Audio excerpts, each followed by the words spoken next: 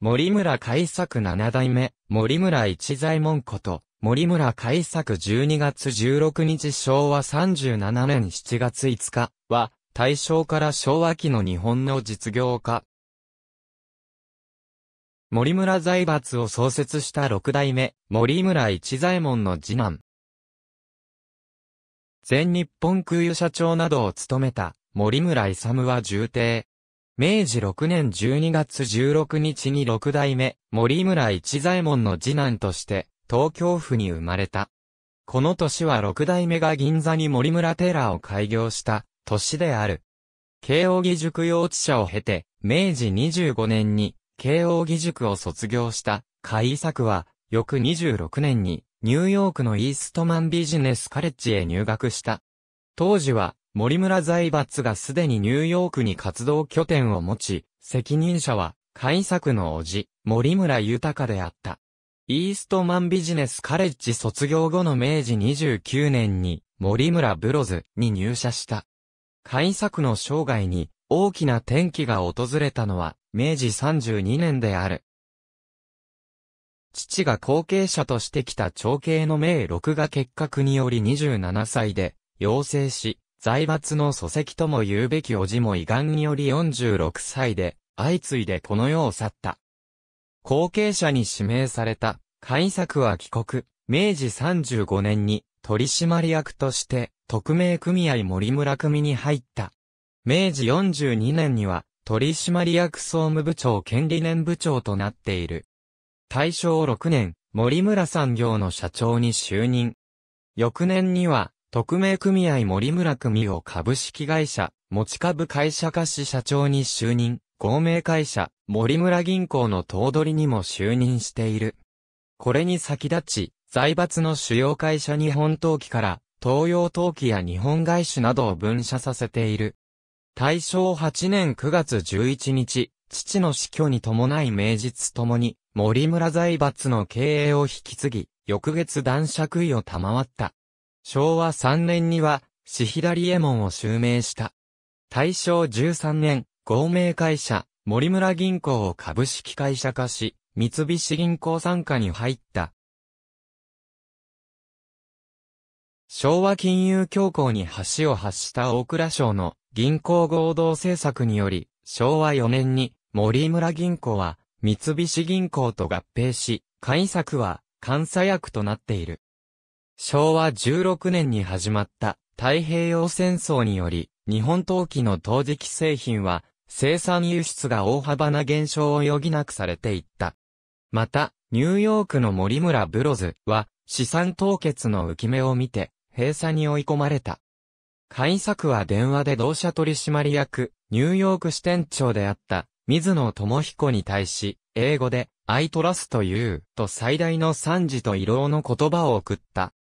日本国内では、財閥の製造会社である、日本陶器、東洋陶器、日本外資、日本特殊陶業、強立原料などが軒並み軍事工場に指定され、過度の増産を余儀なくされていった。これに大使改作は、男爵位をとしてこうしたという。1945年、森村組社長を自主相談役に退いた。1947年1月、GHQ による公職追放令により、改作は一切の公職を失った。公職追放の理由として、横浜賞金銀行取締役であったこと、戦時中の日本医療団理事であったことが、戦争協力者とみなされたためである。公職追放令は1950年10月に解除されたが、77歳となっていた、海作は現職には復帰しなかった。この後は、教育、研究や国際交流などに貢献した。海作のフィランソロピーについては、フィランソロピーを参照のこと。1962年7月5日9時30分、自宅で老衰のため永眠した。去年90。特命組合森村組そして森村財閥の流星は、六代目を中心に、大倉孫兵衛や広瀬実秀、村井森方などの重鎮が私を捨て国家流星のために汗を流した結実であり、一人の実績でない、ことを六代目自身が十二分に承知するところであった。1909年、老年となった六代目は、森村組の後継者は、森村家からではなく、重鎮らの話し合いで決定するよう提案した。重鎮たちは、意外にも、森村家から後継者を出すべきと、反対した。六代目は、この意見をのみ、森村家志士の改作が、将来森村組を継承することに決まったという。森村財閥以外の実業面で歴任した役職を挙げておく。井上勝の長女女子と結婚、二女を設けた。森村組精神の一つに社会貢献事業がある。日米貿易で得た利潤を還元しようというもので、その事業の中心は1901年に設立された森村豊明会であった。豊明は、創生した森村豊及び、名六の名から取られたものである。現在、日本女子大学附属豊明小学校などに、その名残を残している。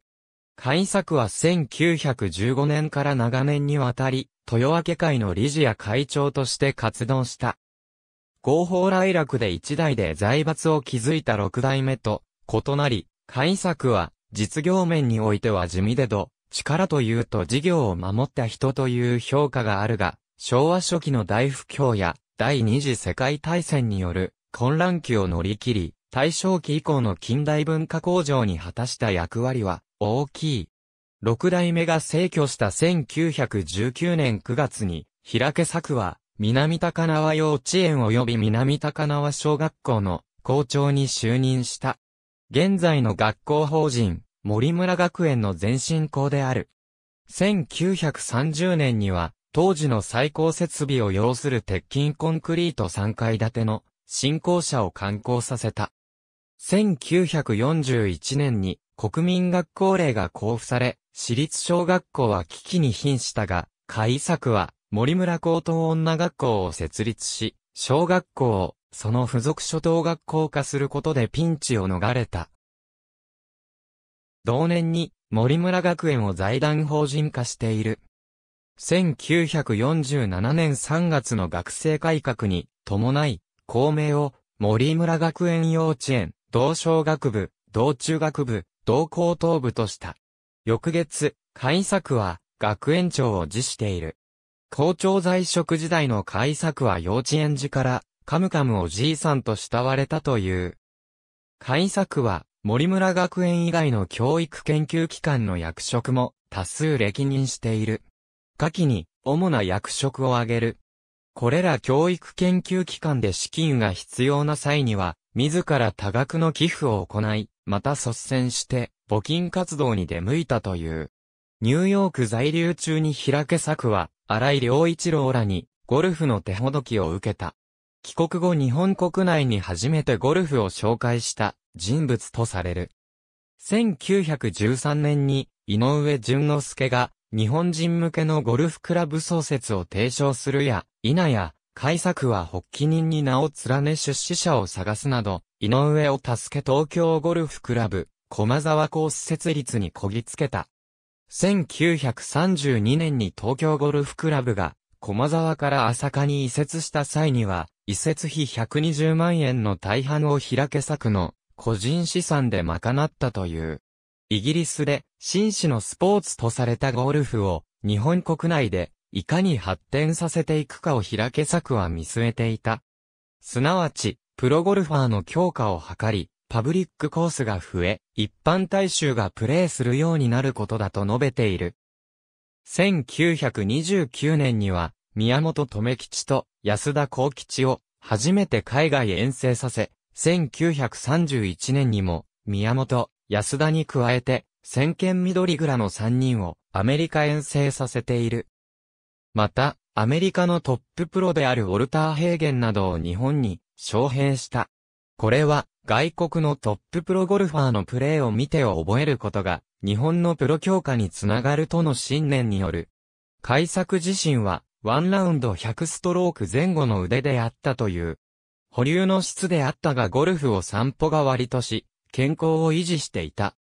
日本ゴルフ協会の会長職は、その設立以来空席であったが、会作は1934年から1939年まで初代会長を務め、昭和天皇にゴルフクラブ一式を献上している。